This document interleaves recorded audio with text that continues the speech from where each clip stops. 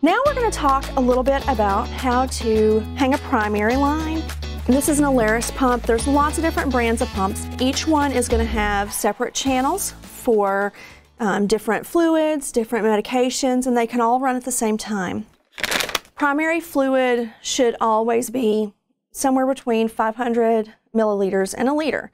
Um, smaller bags just aren't typically hung as a primary. Um, okay, this actually has a tear, and it's real easy to open. Now, the first thing that you're going to notice is that it's a little bit damp on the inside, but not much. Okay, um, if you have a lot of dampness on the outside, that's a problem. It should be very minimal. Then I'm going to open the tubing. Again, if I try to open it from this end, that's going to be a problem. If I try to open it from this end where there's a perforation, then it's real simple. Okay, so I'm going to take out my tubing. And most of these little things, the little paper, the little plastic, those aren't necessary anymore, okay? That was to help with packaging. So I'm going to rip these off. This is the part that's actually going to go in the pump. And I don't need this, so I'm going to take that off. So this is my spike, my drip chamber, my tubing. This part is super flexible and that's the part that's going to fit into the pump. My roller clamp. Now before I spike this back, I'm going to go ahead and close the roller clamp. Otherwise I'm going to get a shoe full of water. Okay? Now that I've got everything open, I'm going to go ahead and just put gloves on.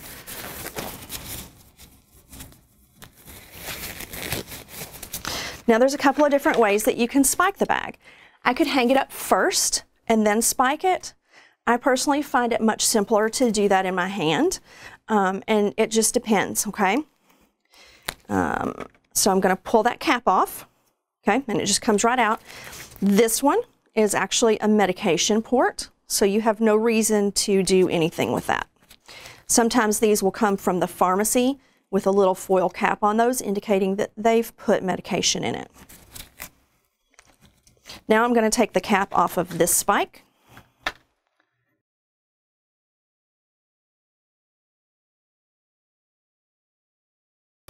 So now I'm going to hang the bag up. And what you're going to see next is I'm going to fill the chamber just a little bit, okay?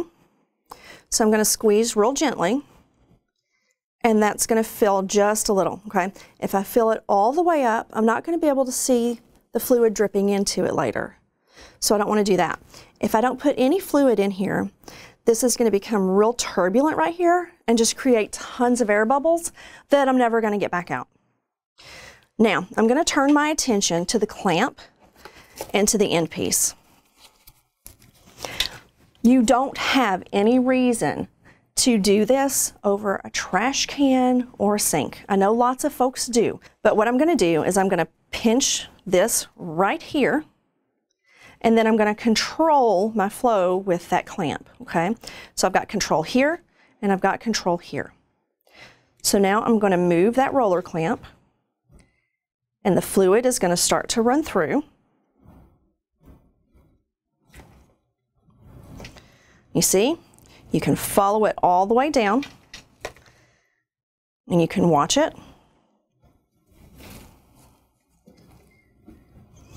And I can see that it's almost to the end. See that? That's where the fluid is. So I'm going to roll that right to the end. And because I've got my thumb here, it's not going to leak out. And then I've clamped it back here. Okay? So now we're ready to put this into the pump.